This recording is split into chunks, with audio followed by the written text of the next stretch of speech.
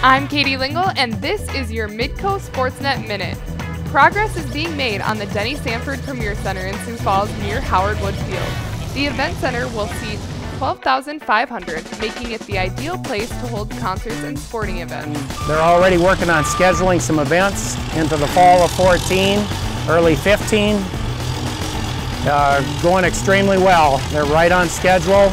Even with some weather delays, they worked some Saturdays and Sundays to make up that time. Right now it doesn't look like much, but the Denny Sanford Premier Center is already set to host many events, including the Summit League tournaments, set to be held in spring of 2015.